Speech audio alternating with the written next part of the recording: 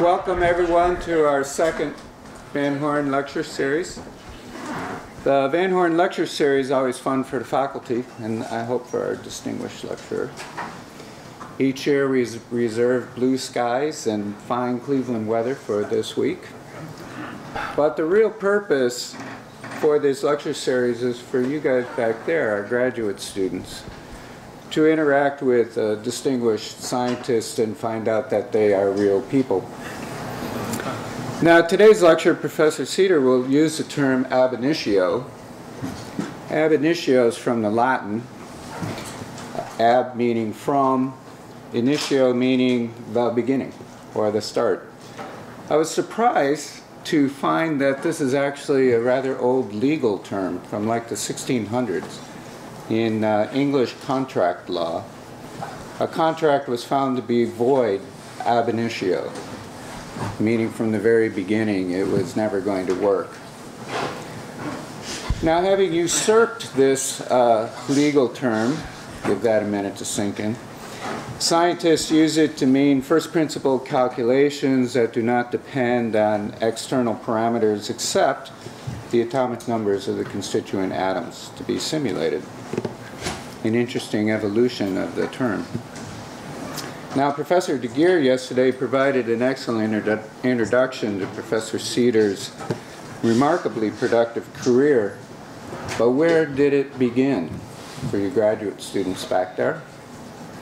We should examine ab initio, Professor Ceder's publication record, and it starts here in this paper, Monte Carlo simulations of oxygen ordering in YBCO. This paper, for those of you who want to do the math, was uh, published in 1989, and I'm sorry, but that was 30 years ago.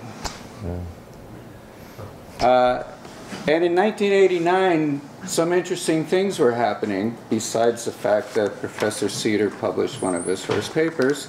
For instance, the Berlin Wall fell.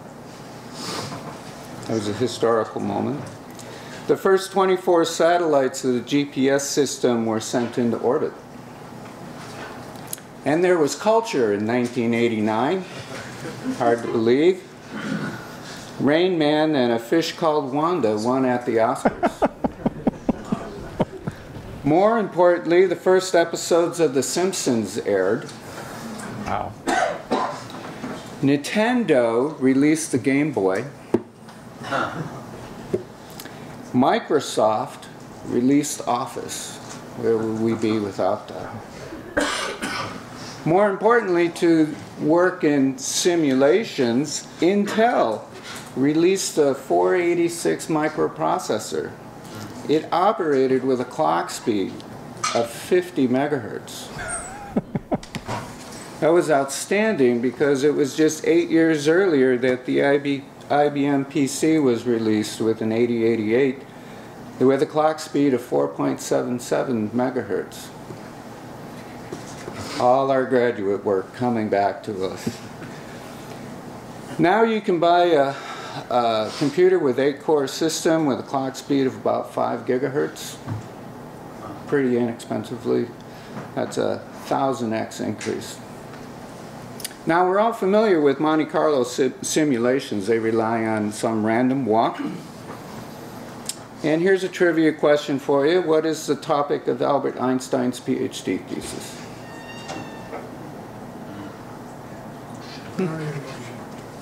Brownian motion. Very good. In fact, in his seminal year of 1905, two of his papers were on Brownian motion. His thesis was on determination of molecular dimensions and his uh, paper on Brownian motion. Uh, in fact, uh, Brownian motion was described by Robert Brown in 1828. Uh, it's in the Edinburgh New Philosophical Journal, which is all digital. You can go uh, uh, read those on the web.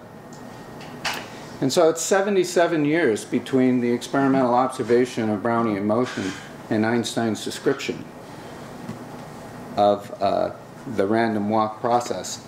Altogether, Einstein publishes about uh, publishes five papers on Brownian motion, which are summarized in this very nice book. My favorite one to quote is from his 1908 paper. Professor Lorenz called to my attention in a verbal communication that an elementary theory of Brownian motion be welcomed by a number of chemists. Acting on this invitation, I present in the following a simple theory of this phenomenon. Apparently the tension between chemists and physicists go back a little bit longer than I thought. Now in these papers he develops a relationship such as the root mean square displacement and the Stokes-Einstein relationship that describes diffusion coefficients. And in our graduate courses and our uh, courses we teach in diffusion, we use Monte Carlo simulations to simulate the random walk. These are termed kinetic Monte Carlo. What was different about Professor Ceder's uh, paper is they used the Metropolis Monte Carlo, which is to simulate a thermodynamic ensemble and calculate the energy of it to determine uh, which state had the minimization of the system. In other words, he didn't use simulations to model experimental results, but rather used simulations to predict equilibrium and non-equilibrium states. And it's really remarkable that 460 publications later, give or take a few, Professor Ceder has new tools and new methods, but the same ambition. Very interesting to me to use simulations to predict equilibrium and non-equilibrium states of matter. And so, if you would, from ab initio, your presentation today. Great. Thank you very much. This is a picture taken every few years. We take a retreat. Uh, we go away for three days. Uh, this is in this one is in Lake Tahoe. Usually we have a lot of fun and um, um, we discuss uh, it's prepared. People discuss a lot of things, but the only thing we don't talk about is about the research we do like now. So it's all about what we might do and cool. So one of our topics was actually uh, electric aircraft. And so this picture is taken by our drone. We, we bought a drone, we played with it, and then like good engineers, we took it apart. and so that, that's the, that is the, the first drone we ever uh, had in the group. So, um, so if you want to find where Case Western is and you don't know where it is, right, what do you do? You, you, you use Google Maps. And, um, and you know, you can, uh, you can plan routes. I mean, you have enormous amount of detail. Uh, now actually Google even has integrated the plans of some buildings, right, that are public. And if you, some buildings you zoom in, you'll actually see the corridors and everything, which is remarkable. So, so, so that's what you do when you drive, right? So what do you do when you do material science, right? Um, your maps are a little older and a little le less complete, right? This is, material science is sort of more like this situation where I don't know if you even recognize where this is, right? This is actually the east coast of the United States. This is kind of Newfoundland, right? This is Labrador, Newfoundland. Uh, this is Florida. um, isn't quite, isn't quite to scale, isn't quite in the right place. And I think this is Long Island here, right? Uh, and then, of course, there's all the parts you don't know. There be dragons, right? So, um, so material science instead of Google Maps is a little more uh, like this.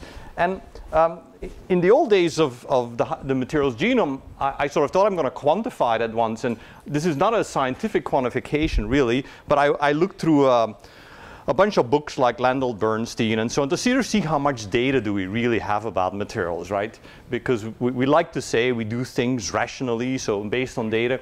So, uh, and I want to put it in perspective, if you look at the number of inorganic crystalline compounds we know today, it's somewhere on the order of 10 to the fifth. It's sort of 50,000 to 200,000, depending on how you're counting.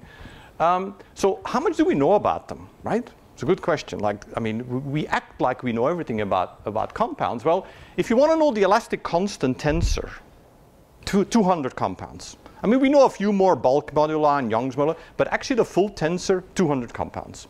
And I may be off by 50 or 100, but that makes it 300, right? Uh, you know, the best known property is TC because it's been measured over and over again on compounds. It's pretty easy to measure. So TC is known for about 1,000 compounds, superconducting transition temperature. The dielectric constant is known for about order four, 500 uh, materials uh, now. Uh, and you think that'd be pretty easy, right? Measuring the dielectric constant. The full piezoelectric tensor, I mean, that is like, you know, that's worth gold, right? That is almost not, uh, never known. That's about 50 compounds. And so, um, you know, unless you do trivial properties, we're almost always below 1% in coverage across. And you know, the argument sometimes is maybe we all we know all the important materials. All these that we don't know are not important. Well, you know, I, I can show you some counter examples if you want to uh, bring me to it um, of, of how we missed important materials by not knowing the properties. So imagine that you kind of knew everything, right? That you know the basic properties of every known compound, that you would know the band gap and effective masses, Seebeck coefficients, electron mobilities, whatever you want, that you would know the full elastic tensor, the dielectric constants, maybe absorption spectra, point defect energies, right, solubilities, the electronic signature of those point defects. And then if you're into mechanics, maybe you want to know the stacking fault energies, the Peierls dislocation barriers, and things like that, right? So, uh, so uh, maybe if you're into nucleation, you want to surface energies in, in air, in aqueous environments, and so, and, and, and that you had the capability to query these upon request. I think, I hope you agree with me that if you had this, you would develop a much more quantitative theory of material science. Because our problem today, the reason is our field is terrible at being quanti. You know, we're very good at qualitative relation building, but we're not very quantifiable, and that's because we often don't have the numbers to put into our theories. And, and, and I think what I'm going to paint you the picture that we're actually not that far from this, because every property on this list is actually computable today. It is actually computable by ab initio methods, we just don't always do it. Sometimes it's still hard. Sometimes there are accuracy issues. Sometimes we just don't want to bother doing it for thousands of compounds, but there's not anything on this list here that we don't know how to compute today. So that was actually our vision in the sort of mid-2000s when I was still at MIT is, um, you know, we thought these are not engineering properties, but these are the basic intrinsic properties of compounds, right? And out of compound properties, you build engineering properties. And engineering properties are much harder to calculate, but we felt if you could sort of catalog the basic intrinsic properties of compounds, that was the genes of material science. And if we could, if we could quantify all that, we'd call that the materials genome. And lots of people got upset by calling it a genome because it's not hereditary and all this stuff. And, and once I was in an elevator coming out of a, a building where I just given a talk, and a woman goes to me and says, "You're the guy from the Human Genome Project, right?" And I said, right half, half of the time, but not human genome, but okay. So one of the reasons we can do this is because of ab initio computing. And, and I want to sort of uh, maybe continue my thread that I did yesterday of how a bit of basic science can go a long way, in this case 100 years. Uh, you know, sort of if you think of the beginning of the 20th century, Niels Bohr, you know, the structure of the atom, 26, Schrodinger formulates essentially his wave equation idea for, for quantum mechanics. Uh, then it took a long time of messing around.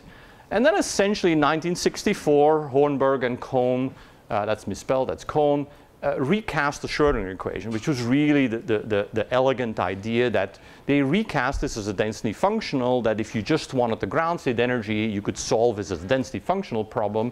But as a good classic physicist always does, they prove to you that the problem is, is exactly solvable, but then say, but you can't really do it. So, uh, and that was sort of where Hohenberg and Kohn left us. Um, 1965, just a year later, uh, uh, the Kohn-Sham equations were developed out of the Hohenberg-Kohn theorem, and they're the ones we essentially still uh, solve today. Then, you know, come the 1980s, I'm about to finish high school here, uh, or college, sorry. Um, and you know, DFT starts being applied to simple elements. People do silicon. Copper is really hard at the time because it sort of has full uh, D states. And, and, and, and the machinery of today's DFT is being developed. Uh, pseudo potentials, right? One of the great inventions for making DFT practical uh, things like the local density approximation, and then later the generalized gradient approximation. So these are the sort of practical approximations that made the density functional theory a practical theory. Because it's not clear that Hohenberg and Kohn ever thought this would be a practical theory. You know, then we come mid-2000s. By now there are stable codes I can tell you that in the 80s there were not stable codes. Actually running something was like, you know, uh, you constantly had to look at whether things converge and you had to look at things manually. You know, by the mid 2000s we have stable codes that actually work most of the time. So at that point we start thinking of like, you know, since this works most of the time, computing can be automated, you can do high throughput computing. You just write a bunch of scripts and instead of doing one calculation, hey, let's do 500 uh, at a time. And then in 2011, the materials project is launched uh, after it's moved to LBNL. And today, you know, we sort of calculate millions and millions of properties on demand from uh, ab initio methods. But there really is a direct line, right? We wouldn't be doing this if all this other work in physics hadn't been done. It's really uh, that simple. Okay.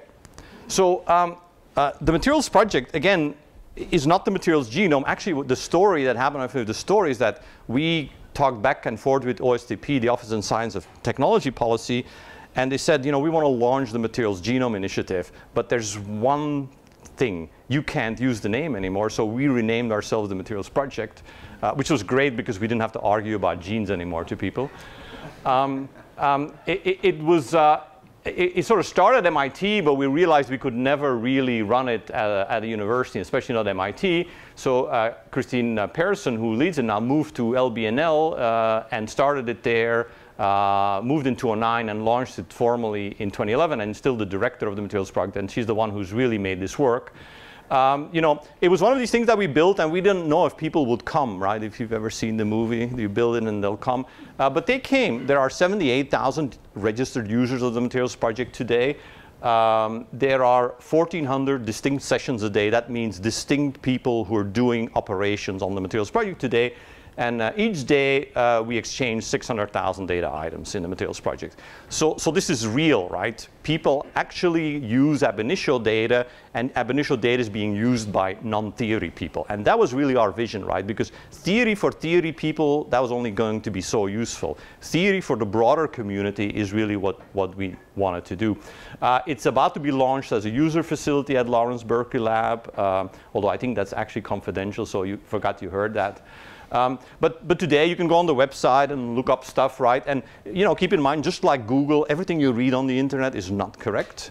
Um, so everything you read on the materials project is computed, so it's not necessarily correct. You are still uh, required to, to use uh, your brain somewhat. Um, you can screen compounds, you can look at formation energies, uh, you can do Pourbaix diagrams, uh, which is uh, things in solution. Um, you know, you can look at crystal structures. There's not a, a robo-crystallographer, which really, if you haven't tried it, you should try. A robo-crystallographer, you, you take a crystal structure and it describes it to you in words the way a, a, solid-state chemist would do. It says these are corner sharing octahedra or face sharing. This it's actually pretty cool. It's sort of data mined on the way people talk, really talk. So I've always wanted this because I stare at pictures and I go like, I don't get it. Is this like face sharing? Is this corner sharing? Is like okay.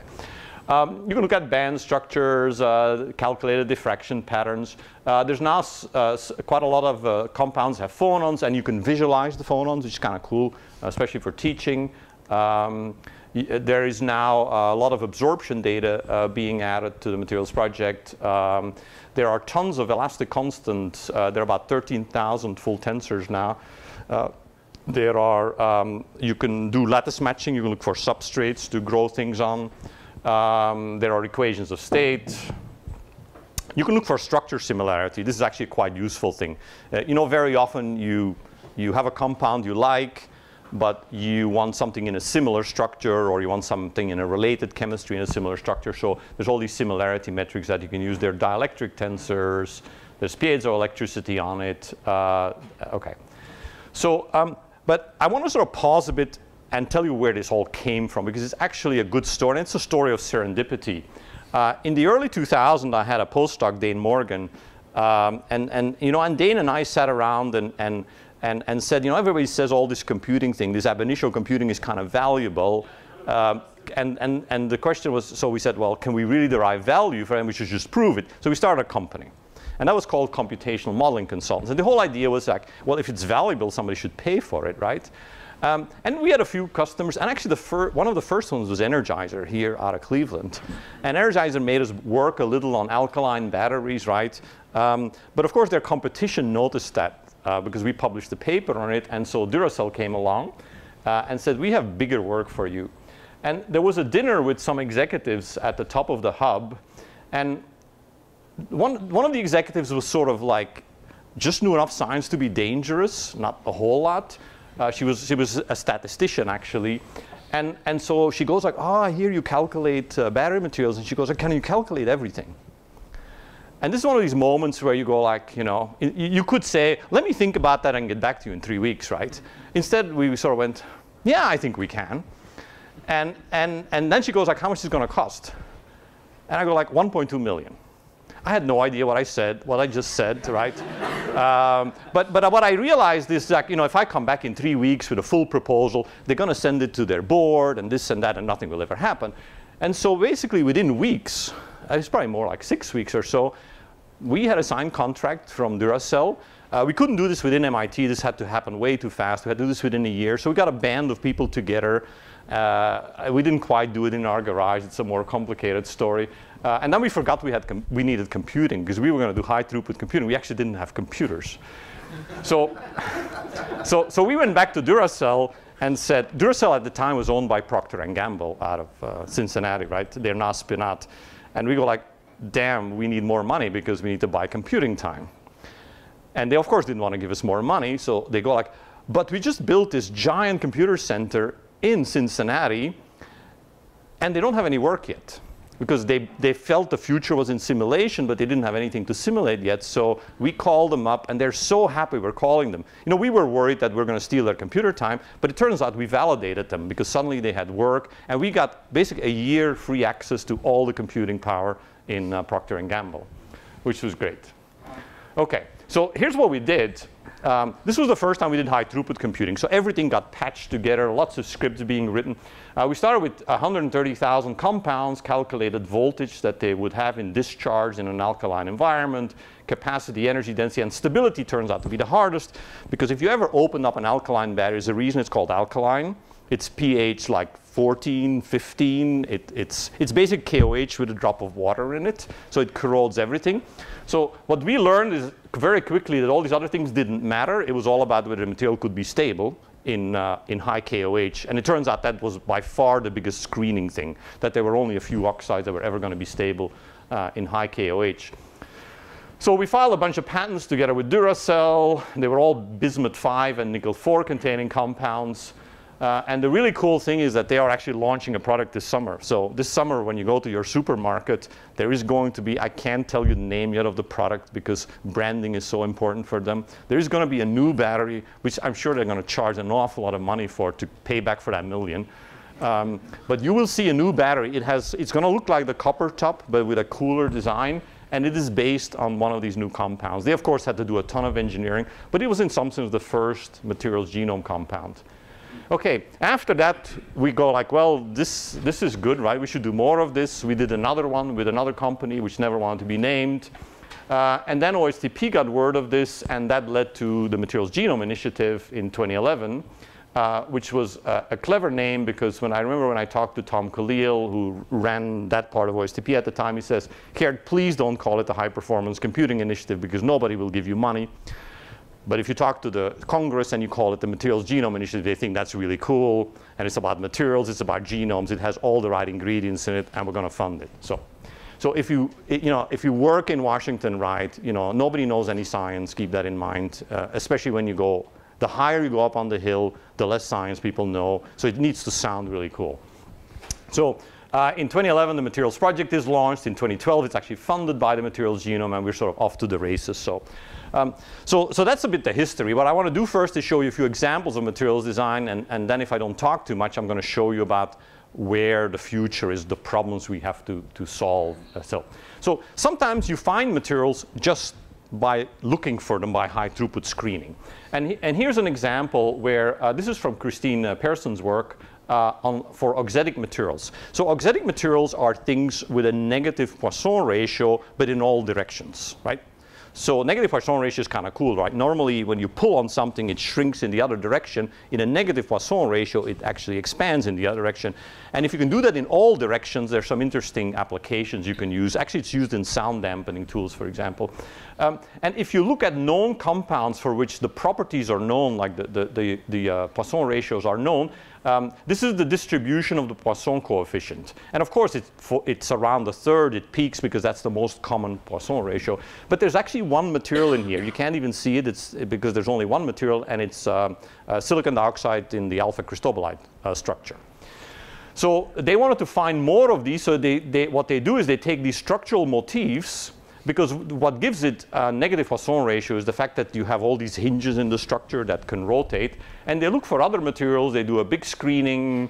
Uh, they look for the motif. And then at, at, the lowest tier, where they only retain a few structures, they actually do density functional theory. And they came out with a bunch new ones. Well, a bunch being like one, two, three, four, right? But so we went from one to five. Uh, and one interesting one, which uh, some of you may be familiar, is, is the high temperature polymorph of aluminum phosphate is actually uh, an auxetic material, but it's been really hard to verify because you need it sort of in either in single crystal form or in the right sort of um, sintered material form. So this sort of sometimes ma materials just lie out there ready to be found. And, and that comes to my first point. There's just a lot of properties we simply don't know about materials. And if you you don't have to even invent new materials. You just have to know what the properties of the known materials are. But we also try to discover new compounds. And we do that with a fairly uh, uh, rigorous control technique. So we try to go from the sort of known compound space to novel compounds. And the question is sort of how do you make novel compounds? Do you just put randomly all elements together? And we essentially do that by data mining chemical knowledge. So what we do is we take the known compound set, which is order sort of 50 to 100,000, and we learn from that chemical substitution. And so this is a matrix of essentially most elements uh, against all other elements. This is actually the cations all. And, and the color scheme is essentially how easily they substitute for each other, retaining crystal structure. So if we have that information, we can take known compounds and, and make them in another chemistry. That's really what this does. And just uh, for those of you who uh, know your periodic table well and substitutionability, this is of course the lanthanides here, right? They have high substitutionability for each other. Uh, this here is, is the column two elements, right? Barium, calcium, strontium. This is the transition metals. And so it, you generally pick up which elements are substitutional for each other. Uh, you don't need to have the right answer, you just need good guesses because in the end you do density functional uh, theory on them. So I want to show you just very quickly a few examples of that in action because now you can just let the computer play.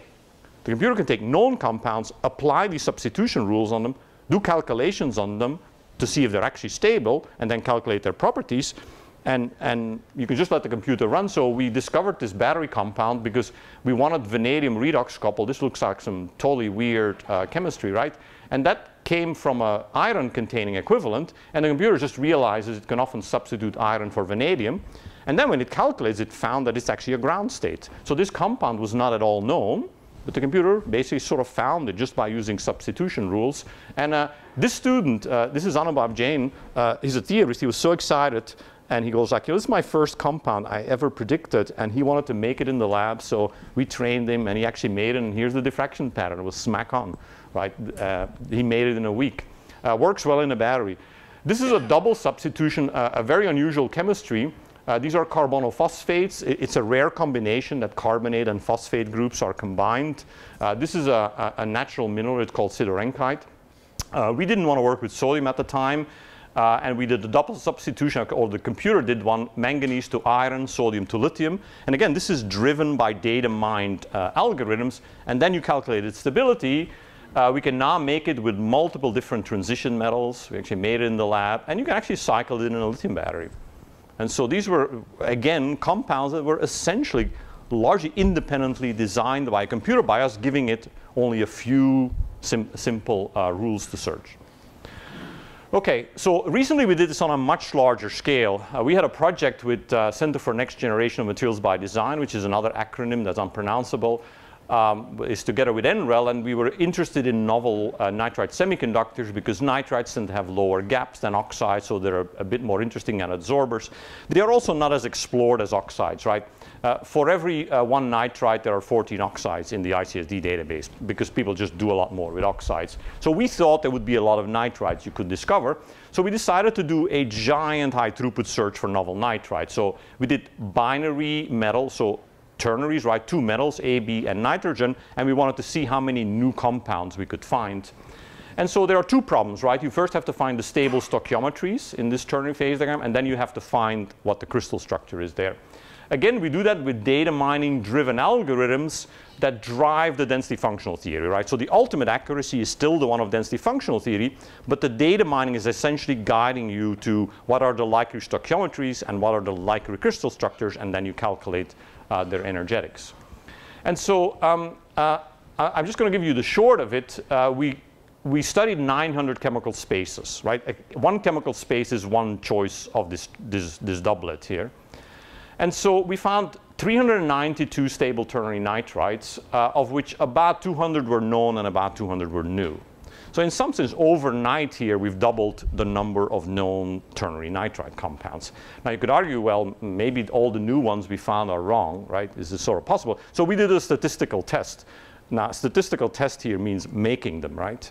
Um, and so our team at NREL uh, picked 10 of them, and nine of them were successful, right? So we seem to have very good accuracy in predicting novel compounds uh, and novel uh, ground states. Um, okay, so I think that computational design of compounds is actually doing quite well, right? We are getting better, we are getting faster, methods are getting better. There are still properties that maybe you cannot predict with good enough accuracy, like band gaps or, or, or, some electron properties, but it often doesn't totally stop you from doing design with materials, right? You don't always need to know the property super accurately to design, you just need to know it good enough. Because in the end, you're going to make it and measure it. But the challenge we more and more face is the one that we do not understand what is synthesizable, right? We have no bound on our design space. So if I start putting elements together, uh, where do I stop? How do I know how to bound that space? And that would be even better if I actually uh, not just know what can be synthesized, so I can bound my design space, but also if I could know how to synthesize it.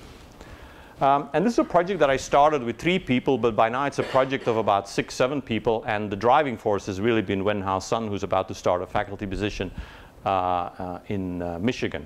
So um, again, the challenge is what we want to answer is what can be made and how can it be made. Um, and and it, this is really driven by a need, right? Uh, we have designed several compounds that look nothing special, but we can never make them. And, and they would have tremendous applications. So sodium molybdenum fluorophosphate, uh, this is a known crystal structure. It's known for vanadium. Uh, this is actually calculated to be a ground state. Uh, I have spent, well, I not, my postdoc and student have spent six months in the lab with all kinds of synthesis technique and no sign of life whatsoever. And you know, after six months, people give up, right? Because it's sort of a true non-result that is even hard to publish. Uh, lithium zinc thiophosphate, this is predicted to be the fastest known lithium ion conductor. I mentioned that yesterday. Uh, this one is crazy. Um, this would be the fastest known magnesium ion conductor. This would be a magnesium ion conductor that is as fast as a lithium ion conductor, which is truly remarkable, right? Because it's a divalent ion. That is a metastable phase predicted, so nobody knows how to make it. Okay, so, you know, when you talk about synthesis, right, people sort of go like, well, you do thermodynamics and this is all kinetic, so you have nothing to tell me, right? And I like to um, uh, uh, uh, quote Alexandra Navrotsky, who has a perspective on this, um, who, um, you know, Al Alex has a broad education, and, and she says in archaeology, when you don't understand something, uh, what you find, you, you say it must be ceremonial because you have no idea what that, everything could have been ceremonial, right?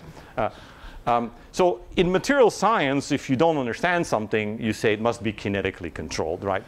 so in our field, kinetics has been this excuse we are allowed to use like we don't have to try. It's, oh, it's kinetics. Okay, let's go on to the next problem.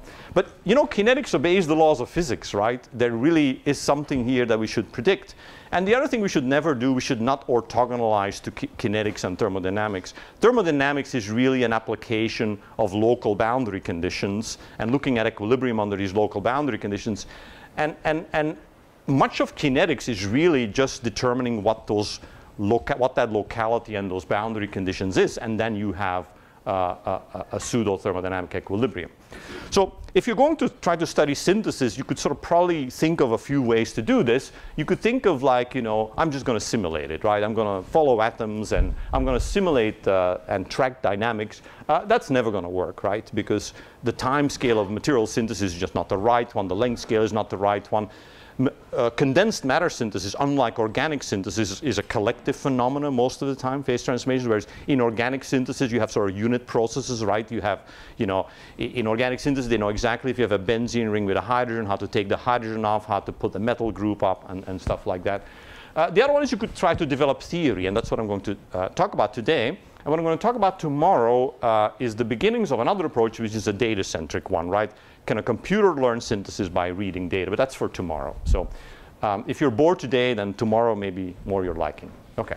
So the first thing I want to do is, how did theorists think about synthesizability up to now? And it was all basically determined on, by energy. We, we have something that we call the convex energy hull. If you take a binary uh, what you do is you plot for mixing energies, formation energies between A and B as a function of composition. And the lowest envelope is what's called the convex hull. These are the thermodynamically stable phases. And then, like here, delta would be a metastable polymorph, right?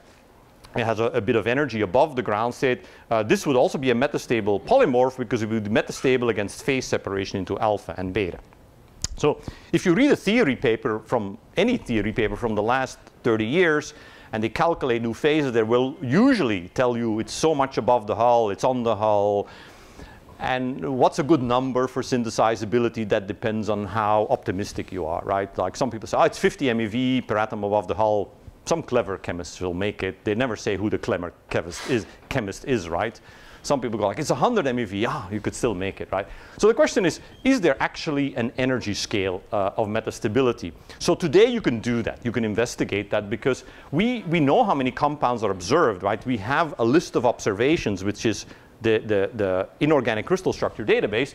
And then we can, in high throughput, calculate phase diagrams and enthalpies of formation and mixing. And so, so we can compare the two. So the question is, uh, how much of the world is metastable? It turns out about 50% of known compounds are metastable. Order of magnitude, it's, it's, it, it's a bit of a tough criteria to exactly slice, but it's or, order 50%. Okay, if you look at this across chemistries, and this is definitely not a complete list, um, so this is the, the, the, typical energy above the ground state of metastable compounds. And this is the, the sort of percent, this is the 10 and the 90 percentile. And what you see is a lot of them are sort of you know, very similar. They kind of reach up to about 100 millielectron volt per atom. If you're a chemist, that's like, uh, what, 10 kilojoules per mole. I can't do British thermal units, uh, but, or kilocalories. But of course, then you see nitrides, for example, have much larger metastability, right? And that has to do with the strong covalent nitrogen uh, bond. Uh, you can uh, do an interesting analysis whether high component systems are more or less metastable, um, but I'll let you try to read the paper if you want to figure that out. The answer is actually non-trivial. Okay, so what we roughly figured out was that most metastable compounds are within about 100 millielectron volt above the ground state. Uh, what Kristin Persson's uh, group did is to try to come up with a more chemistry-specific limit. And they started with the hypothesis that maybe the amorphous state is an upper limit for metastability, right? And, and, and the reasoning roughly goes like, well, it, a, a, material can always go amorphous if it wants to, right? If it's already in the mixed state, but it can't always crystallize in a, in a structure. So they just wanted to test that. So for a lot of different chemistries, they calculated the energy of the amorphous state, right? And the reason that there are error bars is because you do sampling of the amorphous state. It has many different configurations. And then you put on there the energy of the known polymorphs, stable and, and, uh, and metastable, and this result is truly amazing, right? By the way, the, the, the solid circles are known polymorphs. The open circles are unknown polymorphs. every single known polymorph is below the amorphous limit. Every single one. There has been not a single exception to that criterion. And what's interesting is this criterion picks up chemistry, right? Look, giant metastability in carbon. This is a discussion we had yesterday, so, right? You know, carbon goes up to 800 millielectron per atom, and that's the buckyball, actually. Right? But then there are other things like, you know, boron oxide has barely any metastability. Uh, titanium oxide, vanadium oxide, it has a lot of metastable compounds, but not a large energy range over which they live. Okay, so you think we solved the problem, right? Because we have an energy range now for metastability, so maybe everything in this range can be made by a clever chemist. This clever chemist, which we don't know who he is, but or she is. Okay, then we did this test. You should always quit while you're ahead, right? Um, so we did this test. We took some very well-studied systems, right? You know, titanium oxide, iron oxide, vanadium oxide, and this is the energy of the known polymorphs, right? Like for titanium oxide, you have rutile, brookite, anatase, uh, you know, ramsdellite, et cetera, et cetera. Okay, so then we, in the computer, made up a bunch of other crystal structures. Really, we would take known crystal structure types, but put them in that chemistry. And we calculate their energy. Damn, right? So what it turns out to be that there's a ton of no possible crystal structures in this range of what we thought was metastability, 100 millielectron volt per atom. So the known metastable compounds are in that range, but it turns out there's a ton of other ones in that range. So mathematically what we have here is a sort of required criterion, but not sufficient criterion, right? So yes, metastable crystalline compounds have a fairly low energy range, but there's a ton of other ones that are in that range and nobody ever sees them. And, and you know, maybe you think that somebody should try harder to see all these weird polymers of TiO2, but I don't think so, right? There are like 20,000 papers on TiO2, order of magnitude. I would be shocked that they would have never observed any of these. So it is more likely that these compounds just can never be made for some reason, even though they have low energy. And so in some sense, the real finding here is that something that has low energy cannot necessarily be made. This is a common error made in theory, right? Sometimes people say it's only 2 MeV above the ground state hull, therefore somebody can make it. The answer might simply be no. There has to be a, a reaction path and a reaction mechanism to that. And so the question that now follows is, can we predict which phases have reaction mechanisms to them, right? Is sort of the next one. Okay. So, so, so that's sort of the, the next part of my talk. How do you think about what can be made. So we, we made a hypothesis which is called remnant metastability. And, and the idea is the following that if you take some pad between precursors and product, that you know, you go through several different phases of nucleation and growth, and sometimes your environment changes, your chemical potential in your environment may change, your composition may change, your temperature may change. Our idea is that a metastable phase is one that is thermodynamically actually stable in the during the conditions of your growth, right? So at some point, maybe your metastable phase is the most stable one as a nucleus, or it is the most stable one under a different composition than the one you started and ended with, and then you retain that phase. And I'll tell you in a second why this is important, right? So, so the idea is it's still thermodynamics, but it's thermodynamics under different conditions than what you thought it was, okay? And I'm going to give you some examples of that.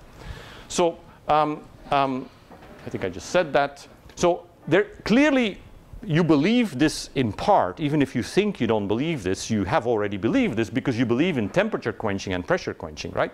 So I can make a phase at high temperature and quench it down and retain it, and I can make it at high pressure and retain it, right? That I think most of you will agree with. So what we want to do is we want to generalize quenching in other variables, right? That's the whole idea that you, this, these, these conditions where you make things is not just a matter of temperature and pressure. There are other thermodynamic variables that control your boundary conditions. And under those variables, you create the stable state. And then you quench it in some variable space. OK.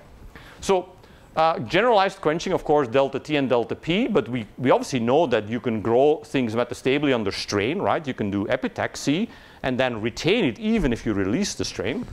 Um, uh, we know that you can create phases at a different composition and then change the composition but retain the crystal structure. That's what is called soft chemistry or chimie douce in French, right? You make a crystal structure, you can change, for example, some ions, diffuse them in and out, but you retain the network.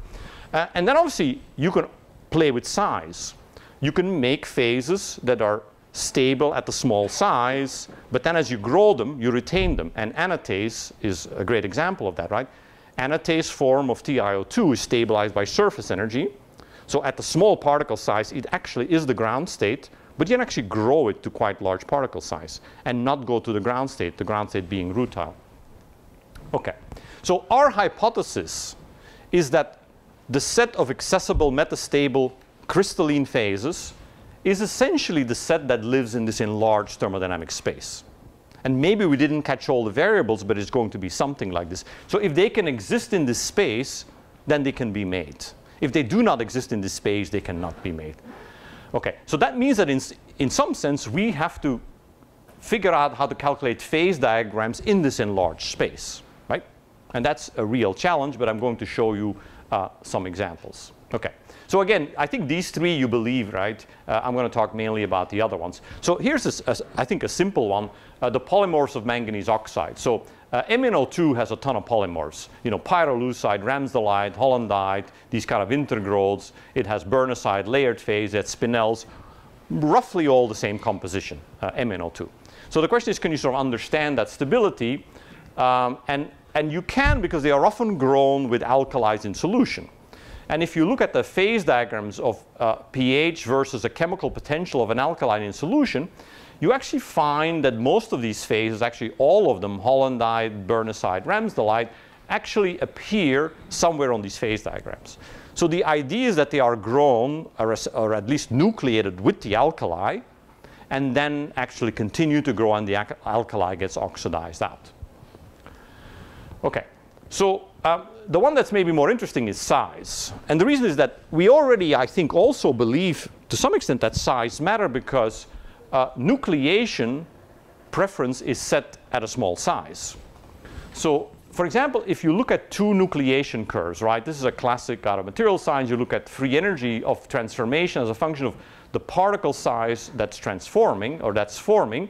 And, and here I've taken a case where green is the stable phase because at large particle size, it has the lowest free energy. But beta has higher free energy in the bulk, but it has a lower nucleation barrier. So in this case, you will form beta first. And if you can, can if you can keep beta uh, as it grows into the larger phase, you've essentially quenched it in size, right? Just like you quench things in temperature or in pressure space, you quench things in size. And so if, that means we now have to look at phase stability as a function uh, of particle size. Uh, and I'll show you a few examples. Uh, the first one I was interested is uh, pyrite versus marcasite, right? Uh, pyrite is the stable form of FeS2. It's called fool's gold, right? Uh, marcasite is kind of an interesting one because it would be a better absorber. It has a better band gap. it's known in nature that um, marcasite forms, tends to form hydrothermally in, a, in acidic environments. Um, so uh, if you, oh, and it's also interested because it offers powers of vitality, assertiveness, and confidence. Um, so important material. Okay, so if you actually calculate the energy of these two polymorphs as a function of uh, uh, particle size, is a lot of work because you have to calculate all the surface facets, you have to do the Wulff shape, and worse, we have to calculate with all the possible absorbance, right? If you're in an aqueous environment, you can absorb protons, OH, water, uh, O2. And, and when you actually do that, you can actually make a phase diagram now as a function of pH and particle size, right? So here you're really small, here you're one nanometer, so huge. Here's the pH, and what you see indeed, marcasite is the stable phase at low pH, so in acidic environment, and at small particle size. And that is actually because marcasite has an easier time doing absorption of uh, H3O, so actually protons combined uh, with water it has a stronger absorption energy of that. So this is very consistent with what people find uh, in nature. I'll show you quickly another example. Um, you know, uh, calcium carbonate, the stable phase is calcite, right? Uh, that's the one you find in, in, in minerals. Uh, aragonite is what you mainly find in the ocean, right? Uh, uh, the, the shell of shellfish is mainly formed out of aragonite, and that's actually a metastable phase of calcium carbonate. carbonate. And it's been known empirically that this is highly correlated to the magnesium content in seawater. Because it's actually to the point where the magnesium content in seawater has historically fluctuated over hundreds of thousands of years. And when it's below a certain point, you actually don't form aragonite in the oceans. And again, that's a surface energy problem. So what happens is aragonite, in aragonite, uh, calcium is highly coordinated uh, by oxygen and magnesium does not want to substitute in there. So magnesium has essentially no effect on the surface energy of aragonite. But magnesium does substitute into calcite because in, in, in calcite, uh, calcium is six-fold coordinated, which magnesium can go into. And magnesium actually increases the surface energy of calcite. So what you see what is happening now is if you go into uh, high magnesium environments, uh, calcite is still the more stable phase, but it actually has the higher nucleation energy because it has a higher surface energy. Uh, again, so this is an, an idea of thinking of these uh, more uh, in spaces in some cases, you can get truly complex reaction sequences. Uh, and, and what we're learning is this is actually more common than we thought. This is an old experiment. Um, my students call this old because it's from 1984. Um, I, I, I, I, you know, I shrug when they say this is old. Um, but, but also maybe if you see these diffraction films, for those of you who are older, the way people did diffraction, like, um, yeah. Um, so uh, this is an interesting experiment. So this is a manganese 2 plus precursor in solution, in aqueous uh, solution, and they just leave it in there. there's no, uh, there, there's nothing changed to it, and they look what happens over months, and they take the diffraction pattern. And here's what happens. So in the beginning, you have a manganese 2 plus in solution. The first phase you form is manganese 304 spinel. And if you just let it sit, it forms manganese, beta manganese oxyhydroxide, then it forms gamma manganese oxyhydroxide, and then it finally forms MnO2. By the way, if you take a Pourbaix diagram, which is a, a phase diagram for solutions, right, it should form MnO2. So it, it, by here it has actually formed the equilibrium phase, but look, it went to one, two, three intermediates, and these are well crystallized, right? Look at this is pretty sharp diffraction line. This is not some gooey gunk that formed uh, on the way to the MnO2 formation. This is well formed crystalline phases. Um, so if you look at the Pourbaix diagram, again, this is, if, if you don't know Pourbaix, Marcel Pourbaix was this great Belgian, like so many scientists, right? So just kidding. um, who, who, developed Pourbaix diagrams, which are phase diagrams in, in aqueous environments, right? So you have pH on one axis, and then you have potential on the other. And potential, if you're not familiar with this, is essentially a measure of the, the, the oxidation ability of your medium. And so the first problem you have is, so we're, we're actually somewhere in here trying to make beta MnO2. So I got a bunch of these phases here. They're not even on the diagram, right? The manganese oxyhydroxides aren't even on the diagram. They're, they're not even stable phase for any condition on this diagram. So it's not like I could end up in the wrong space here. Uh, the question is, why do I form these at all?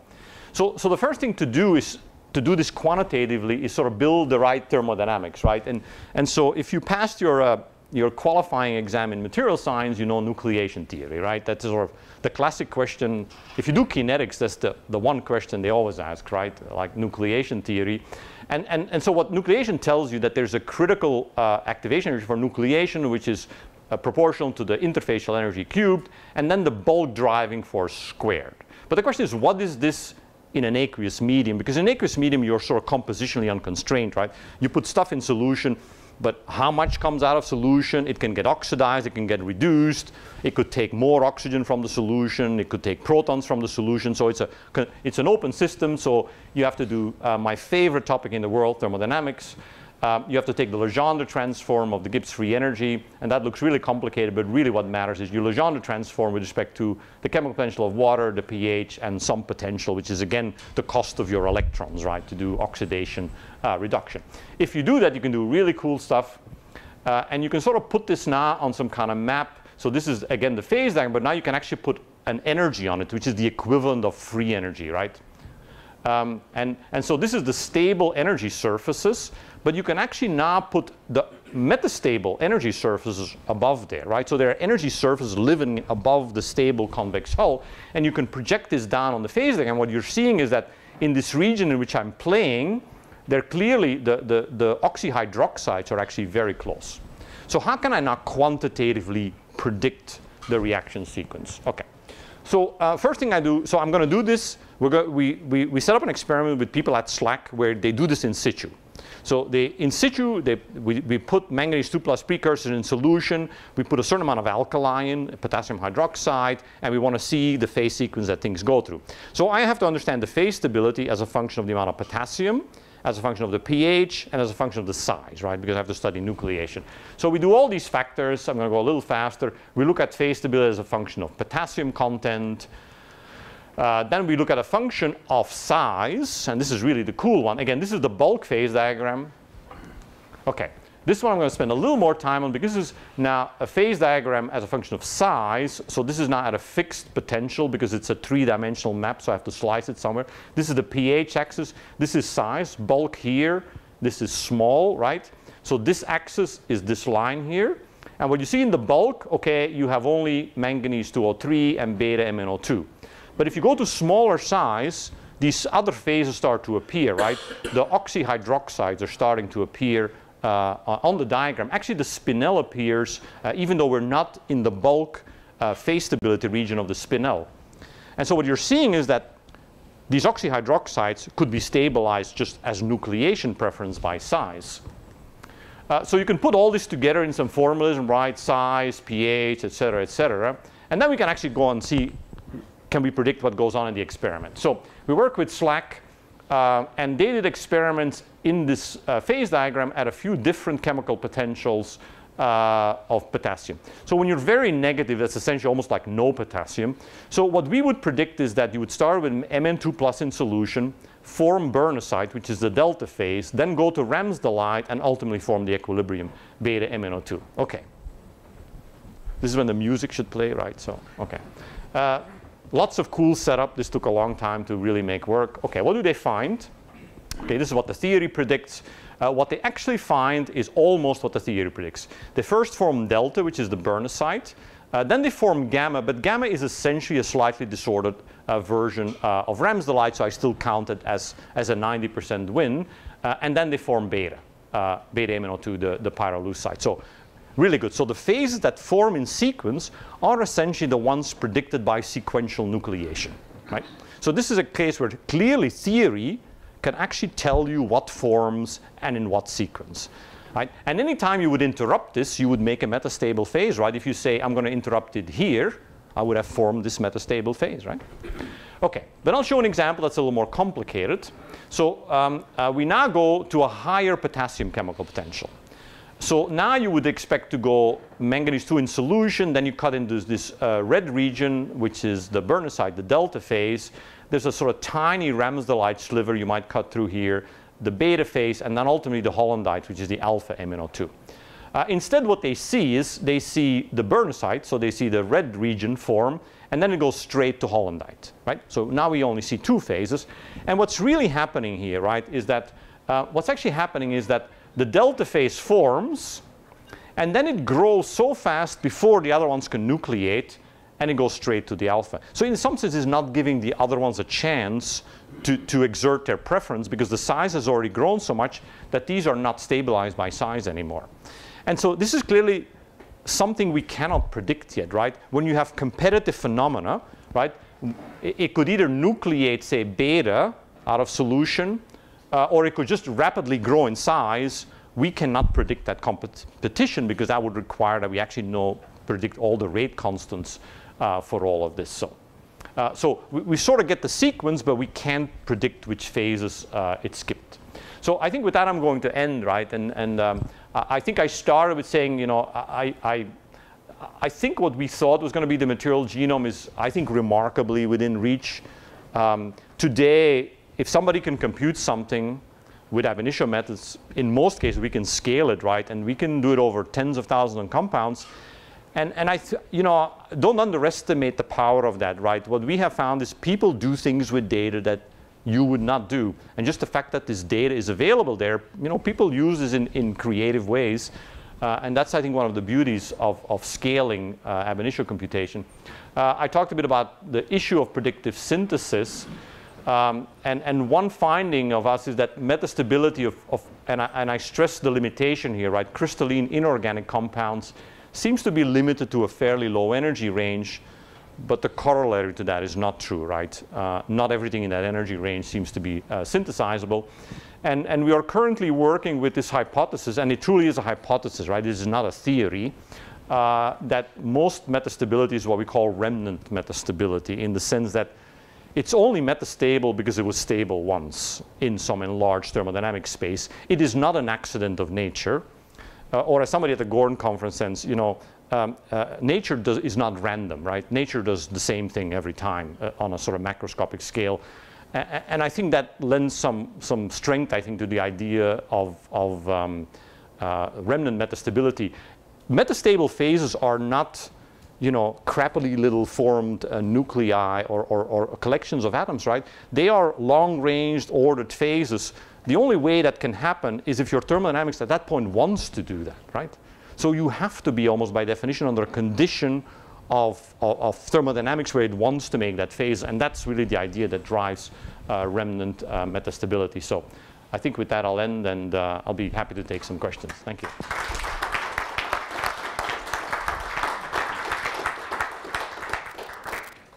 Art. I'm really surprised that epsilon MnO2 does not appear in, in your talk. God, epsilon MnO2. Um, but there's a lot of controversy. I think, if I remember what epsilon is, right? That's the HC, that's the, uh, that's It's a disordered one, right? yeah, this is Yeah. defect, uh, nickel arsenide, Yeah. structure. HCP packing of uh, oxygens, and uh, Yeah. along the C-axis, vacancies in manganese in urate. Very common in all the. Yeah, no, I worked on epsilon MnO2 uh, a long time ago, but I, I'd forgotten. But is it ever seen out of solution? I thought it. We, uh, we studied materials with pure epsilon MnO2, made by uh, the usual process of electrodeposition from a manganese sulfate spar. Yeah. Um, um, so we've never seen, well, I should say the SLAC people never saw uh, epsilon MnO2. Uh, and we actually, I'm not even sure we, we calculated because it's partially disordered. Um, There's at least two ordered polymorphs, uh, which we determine the space groups of using TEM. So it's real. sounds like I should read your papers again. I'll give you a copy. Yeah, I can do that. I think I read them a really long time ago. John? So in your data mining for solid state stuff, there's lots of data, it sounds like you can access for temperature dependence of whatever, phases exist and things like that. But in the synthesis size, often side of things, the stress state is often not this kind of stress state. And so do you have to or can you put in like the equation of state of the material? And does that data exist? So when you're doing things under different pressures plus temperatures, things shift around, in some cases quite a bit. Is that in there now or easy to do?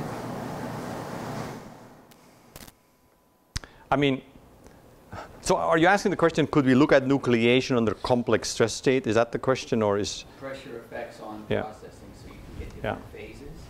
So, y- as you know, you know, pressure effects on thermodynamics are small in general, right? The, the P delta V term. Um, it, I, I think, uh, so I think s- stress terms are small, but strain terms are not, right? And this is a subtlety, right? Because like if you do epitaxy, right, you actually have uh, strains that would correspond to really large stresses if you were to do it mechanically, right? Like imagine that you do epitaxy with 2% st- strain. Uh, if you were to do that, if you were to try to do that by elastic deformation, it'd be crazy, right? So, so strain is an important variable on nucleation. Stress is not. Say you had a non-cubic system, Yeah. and just putting pressure on it generates strain. Yeah. That can be plastic. Yeah. So then it becomes important. So, so you can include that, right? Because um, the, we can calculate the elastic stored energy and how that would differ between the polymers. If you stay within the elastic limit, though, that number is not very large, right? I mean, just because of the units, right? The P delta V term in thermodynamics is not particularly large, and, and, and so the, the elastic strain piece isn't very large either, right? Mark?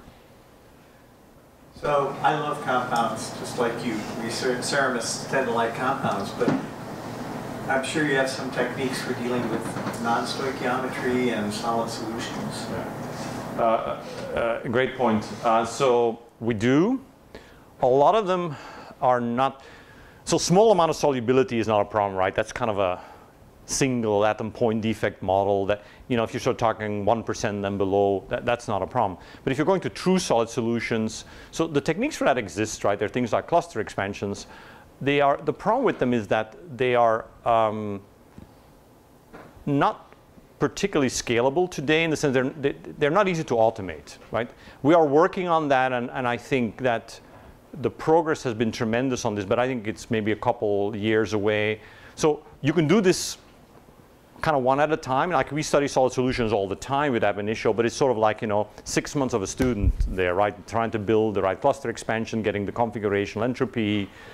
Um, and the last five years has seen a lot of kind of more mathematical development to stabilize that process because it's largely a convergence problem. And, and algorithms that have all kinds of quirky convergence problems you cannot automate, right? That's the problem. If it's a human that has to look at it, oh, did this converge? Did this not converge? What do I do now?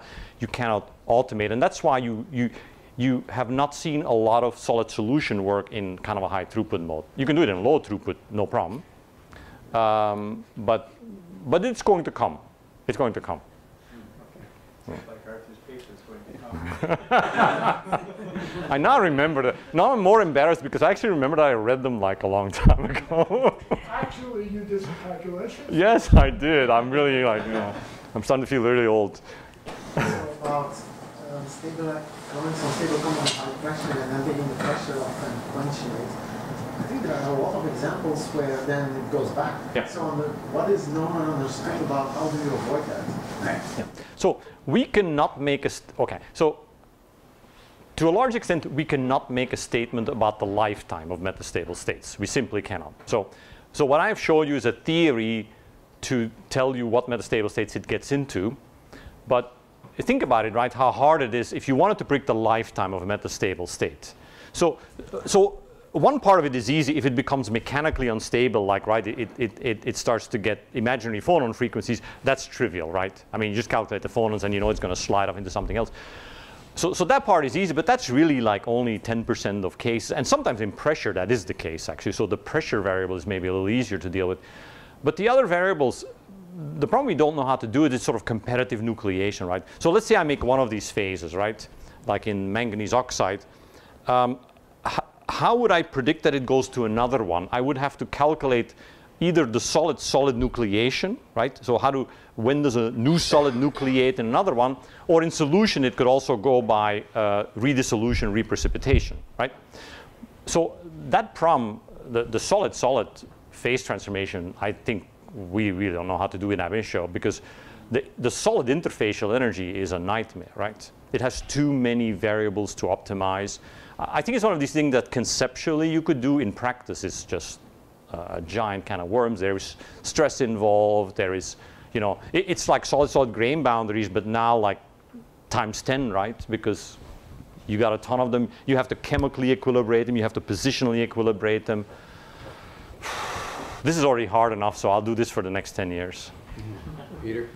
So have you looked at the uh, evolution of these different structures in terms of crystallography, in terms of, say, subgroup, supergroup, Yeah. those type of things? So there's a team in Kristin Persson's group working on that because th- this comes actually to the next question, right? So to the previous question. In some cases, you can predict some of the easy phase transformation pathways, right? Um, and, and sometimes that has to, to do with group subgroup relations. So, so we see that, that there are some phase transformations that happen really fast. And therefore, if you go into the metastable phase, but it has a fast transformation pathway out of it that's lower energy, it's going to be really hard to retain this. And some of that has to do with, with, with basic structural relations. So, so, so, so there is a bit of a complex reality out there that maybe I didn't show. But, but we, there's actively work being done on that, actually. Bruce? Uh, When you're discussing the energy, in some ways it reminds one of the end of 19th century and Gibbs. Gibbs realized, of course, that it's not the energy or the enthalpy, but it's the free energy, which is combination of enthalpy and entropy. And as far as, I'm not sure if I'm right or not, but really ab initio calculates the enthalpy and doesn't calculate the entropy. And the question is how easy, easy it is to calculate the entropy. Is it possible by ab initio Yeah. and how accurate is it? So, so we do it, and, and yeah. so Yeah. But we do it, we do it all the time. We, we rarely do it in high throughput because it's more work. But so the, the two dominant components tend to be vibrational and configurational, right? If you have a, a mixture configuration, if you have a compound, it's really just vibrational. Uh, and uh, we know exactly how to do it. It's just a lot more work. And then there's the electronic one in some cases, right? Um, and so we do that when we do more detailed studies. But you got to look at some of the scale of these energetics, right? So some of the scale of these energetics is like hundreds of milli electron volt. So no entropy is going to like rearrange those that, that kind of energy scale. But, but, but the methodology to do it is, is quite well known and it's done quite uh, routinely. Maybe the student should ask a question. Wonderful idea. Yeah, the student should ask. So, um, Are you a student? Yes, he is. if I'm not, I've got some concerns. Um, so, kind of, speaks Latin. I, I, I find I find this E to S. I find this interesting dichotomy. Uh, I'm curious as to your thoughts of what comes of that. At the very beginning of the talk, uh, you were talking about something very practical. In fact, you were sitting down with CEOs who would only pay you money insofar it was practical. And it goes not into a less practical, but more theoretical in terms Really of practical something. Of can can this can this be synthesized? and are, are finding kind of limitations of can it in fact be synthesized? But that doesn't necessarily mean it's easy to synthesize or that that's going to be something that per se Energizer wants to do. Of yes, great, you can make this compound with PVD on a very small couple atom thick film, but we don't care about that because that isn't pertinent for our scale of application. So granted, that's a whole other can of worms, as you said, but what would you see as being the steps to get there in terms of adding to or adjusting the models or paradigm that you already have? To, to make it, to only look for simple synthesis? To look for practically implementable, scalable synthesis. There. Okay, so uh, I have a lot of answers to that question, right? But so a lot of these are are scalable, right? So uh, synthesis out of solution is done as an industrial process. Uh, solid state synthesis is done as an industrial process. Uh, epitaxy is done, but not to make like giant quantities of material, right?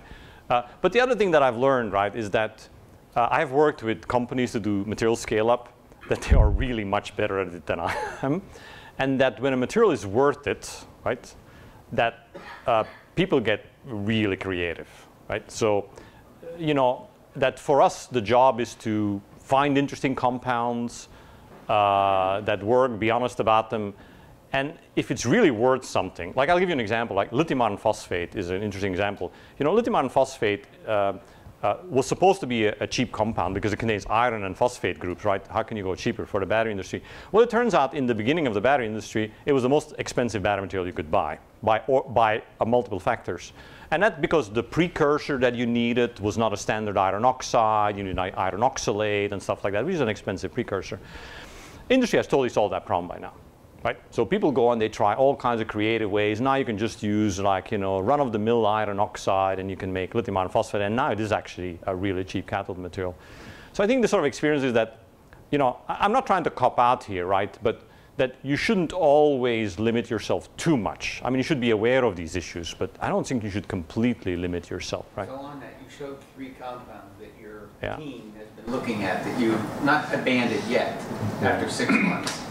But is that one of these situations where better conditions under control, you think you can get there? Because that's what. So we are looking at these things now, right? So we have a few more of these so that are higher priority, but we're trying to understand for some of these compounds, what route would you take to make them metastably? And, and that's really all we're trying to do, right? We're trying to give some guidance, sort of like, if you're going to make a metastable compound, can, can we start to think about how we can predict synthesis routes? And I'm not sure we always have to be exact, right? We just have to be better than, than like guessing at it, right? Uh, So do you ever look at the uh, interface, say uh, an oxide interface, where you have two dissimilar uh, materials, and what the energetics of Yeah. So we do. Um, we solid-solid interfaces are hard. And, and I'll, I'll come back to that. Um, so we obviously do uh, solid gas is quite easy, but there's still an equilibration problem because there's crap in the air, right? That, that you have, there's still a chemical equilibration. You can't just calculate a vacuum interface. Um, and we do solid liquid. Uh, water is actually not that hard because, I mean, the species there are protons, hydroxyls. You only have to equilibrate a few groups with your um, environment. Uh, solid solid is really hard for the, the, the reasons we mentioned before. And to be honest, sometimes we do a back of the envelope calculation where we, where we just throw in it's one joule per meter squared, which is a classic interfacial energy, right? And, and, and you sometimes show that stuff will not happen at all at that kind of interface or will happen. And you do a sort of sensitivity analysis. Well, what if it's two joules per meter squared or what if it's point or a half, right? And you go like, well, I'm sort of in the range where it will always happen, so I don't really care. A- And, and then you don't have to do all this enormous amount of work to calculate the solid-solid interface, which is not pleasant, right? Well, I think we'll uh, let you off the hook for today, so I'm glad I heard it.